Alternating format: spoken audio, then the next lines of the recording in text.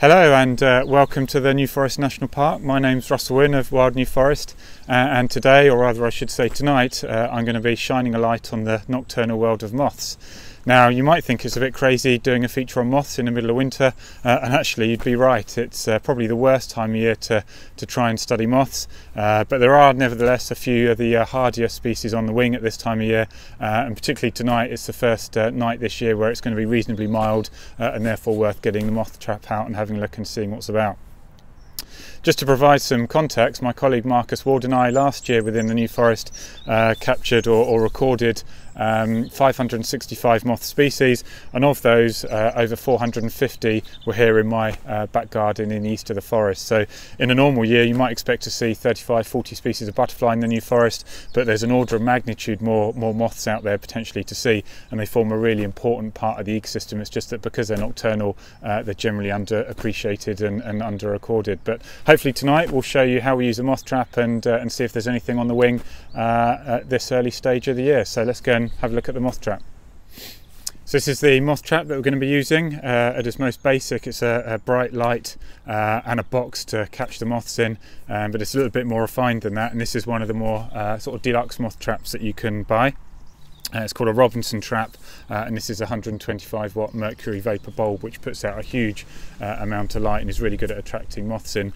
When the moths come into the trap, they enter via this funnel, uh, and then they're uh, encased in here, uh, trapped inside here, and we put in a load of cardboard egg crates that gives them off somewhere safe and secure uh, to tuck in until we're ready to go back and, and check the trap in the morning.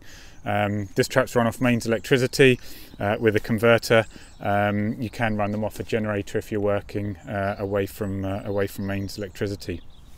I've had this one about 17 years, used it pretty heavily uh, over that time. It's still going strong, so it's nice and uh, durable. You can build your own uh, moth trap, and there are cheaper versions uh, available to buy. Um, but this one's generally deemed to be the uh, the best when it comes to attracting the widest range of species and giving you the best chance of catching anything that might be uh, out and about on a given night. So it's now about 9:30 p.m. and I've just ventured out into the garden to have a look and just heard a tawny calling in the distance, which was, was really nice. And I've already seen a couple of moths flying around the trap, uh, so that's an encouraging sign. So hopefully, we'll have something to look at in the uh, in the morning. Um, this shot's really just showing you how, how bright the trap is. You can see it's really lighting up the whole lower part of the garden. Um, luckily here we got pretty good screening from the neighbours, so no issues there. But obviously that bright light is very attractive to any moths that are on the wing uh, tonight. In terms of the weather, about 8 degrees, cloudy, a little bit of breeze, so um, it's a good conditions and hopefully we might see other some other wildlife while we uh, have a little tour around the rest of the garden. So something you might not expect to see in your garden in uh, the middle of winter is a caterpillar, but uh, you should be able to see here about an inch long beyond the tip of my index finger is a caterpillar just resting on the grass here. This is the larvae of the square spot rustic moth, uh, I think.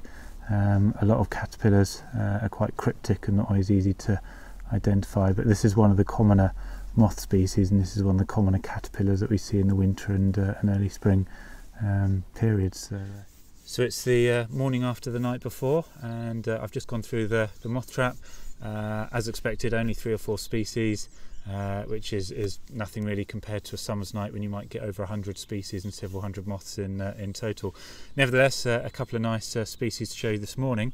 The first one on the left is this uh, guy here called the December moth. Um, this, as the name suggests, is on the wing uh, from late November all the way through December and into the new year. a nice one of sort of furry, fluffy type moths. and then this one on the right uh, is the chestnut. Again, as the name suggests, uh, lovely sort of chestnut brown colour. Um, this is one of the commonest moths on the wing from uh, from now right through into the uh, early spring period. So, yeah, not a massive catch, but nice to have a, a couple of examples to uh, show you this morning. So I've already popped the uh, December moth back in the trap, and there goes the chestnut.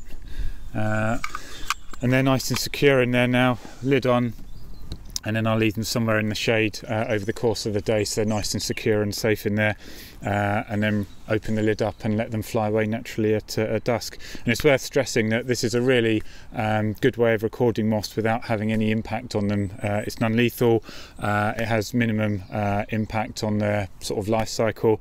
Um, during the summer, if I'm trapping regularly, then I'll normally try and trap only every other night um, just to give the moths that are living in and around the garden a chance to do their thing without being interrupted by the, uh, the light all the time.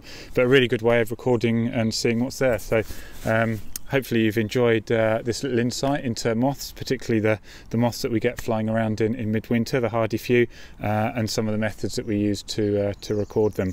I'll probably do a few more of these over the course of the spring, especially as we get some of the larger, more charismatic species coming out uh, as we get into sort of April and, and May time. But uh, that's it for now. Hope you've enjoyed it and uh, hopefully we'll see you again soon.